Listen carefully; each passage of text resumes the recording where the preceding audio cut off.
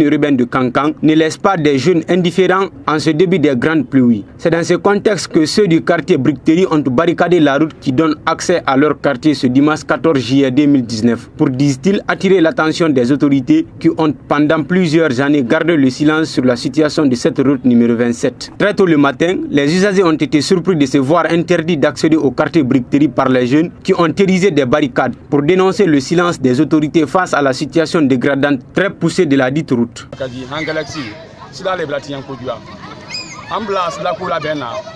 Si on a barricadé la route aujourd'hui, c'est parce qu'elle n'est pas en bon état. Ça fait maintenant plusieurs années qu'on est là-dessus. On est vraiment décidé. Les autorités n'ont qu'à venir faire les canaux d'évacuation d'eau pour permettre les eaux de bien couler afin d'éviter la dégradation de la route. À chaque fois qu'on va à la mairie, ils nous sensibilisent en disant qu'ils vont venir. Mais par la suite, on ne verra rien. Aujourd'hui, c'est très clair. Il faut qu'ils regardent notre quartier.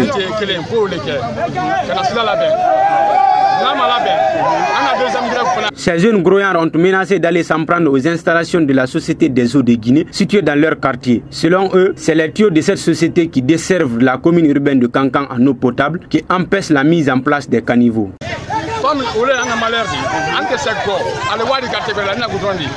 Ils ont dit que c'est la présence des tuyaux de la SEG qui empêche le bitumage de notre quartier. Pourtant, ils ont créé des caniveaux ici pour les fibres optiques.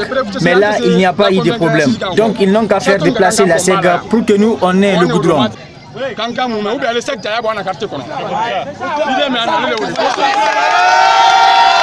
Accusés du laxisme par les jeunes face à la situation, les autorités du quartier ont soutenu que beaucoup de démarches ont été effectuées auprès des autorités communales et préfectorales pour faire sortir le quartier de l'ornière sans aucun résultat satisfaisant. Depuis que cette route-là est rendue impraticable, nous avons mené beaucoup de démarches auprès des autorités communales, préfectorales euh, et même d'autres autorités supérieures pour que nous puissions trouver solution.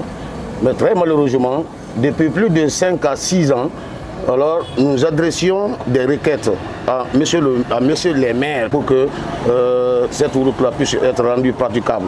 Nous n'avons pas forcément demandé le bitumage, mais nous avons demandé à ce que les routes principales du quartier alors soient euh, reprofilées, que le reprofilage soit fait pour que la population puisse accéder facilement euh, à la ville.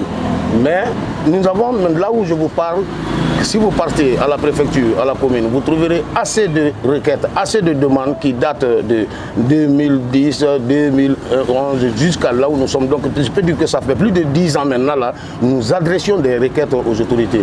Déjà sur les lieux, les jeunes grognards, en plus des barricades qu'ils ont terrorisées, se sont mis à raqueter les taxis motards et les conducteurs dans un lourd pour, disent-ils, collecter de l'argent afin de mettre de gravier sur les parties de la route dégradée.